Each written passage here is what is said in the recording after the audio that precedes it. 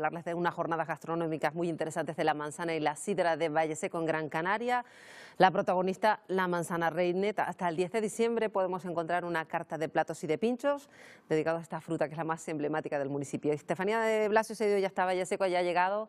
Estefanía, cuéntanos qué se espera para estas jornadas.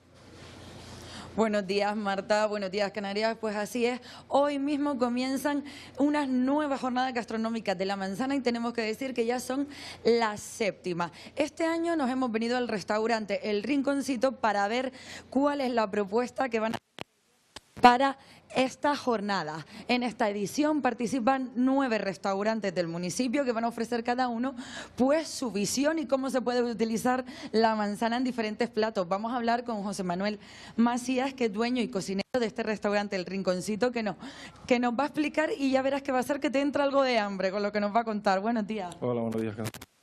Te decía, las croquetas de manzana con seta, los pimientos rellenos de bacalao y manzana, Sí, y fíjate que hay una propuesta que a nosotros nos ha llamado mucho la atención porque tienes unas papas arrugadas con alioli de manzana. Sí, son arrugadas como toda la vida, después las gratinamos al horno con, con el alioli. Sí, y José Manuel, esta alioli no repite, ¿no? No, no, y si es de manzana de Valle Seco, menos. bueno, síguenos contando. Luego tenemos una ensalada ecológica, como bien ves, todos los productos que utilizamos son de aquí de Valle Seco, el pan, el queso, las verduras son del mercado ecológico un confit de pato también, con una salsa de sidra de aquí de Valle Seco, eh, ¿qué más? El salmón, con una salsa de coliflor y, manzana, unos mejillones que le hemos llamado mejillones reineta porque van rellenos con el mejillón y, con la manzana por encima. No, no, desde luego bastantes propuestas y como no podía ser de otra manera, de postre no puede faltar la tarta de manzana famosa de aquí del municipio. Sí, la tarta que la preparan los chicos del centro ocupacional. Luego también tenemos una manzana en textura, que tiene tierra, tiene un crujiente y una especie de panacota. Luego una torrija de toda la vida, lo que pasa es que tiene sabor a manzana. Ah, así que viene con sorpresa. Sí. y nada, y alguna cosita más que se nos quedó atrás.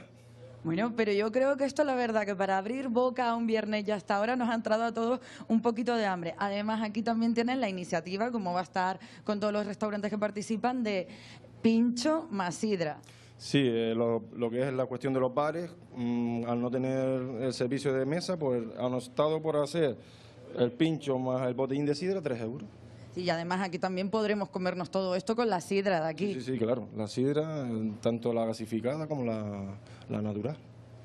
Así que estupendo. Pues muchísimas gracias por habernos atendido, que sabemos que llevas aquí toda la mañana haciendo los platos. Y Marta, no me digas que no se te ha abierto un poco el apetito con todos estos platos que nosotros, lógicamente, aquí el equipo, ya que hemos venido hasta aquí, pues nos vamos a quedar y vamos a probar absolutamente todo. Claro, qué menos para hacerle justicia a esta persona que ha estado tanto tiempo preparándolo. Nosotros pues nos quedamos con la envidia, como siempre, Estefanía, que se le va a hacer. Buenos días. Buenos días, Marta.